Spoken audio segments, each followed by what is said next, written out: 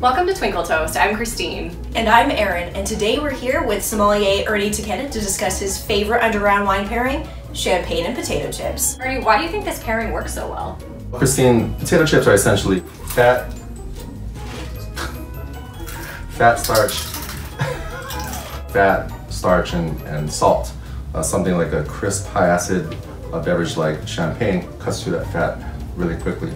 Uh, this happens to be Krug, which is one of my favorites. However, it'll work with any type of sparkling, domestic, even maybe even a Prosecco. I noticed that you're drinking champagne out of a burgundy glass versus a traditional champagne flute. Why is that?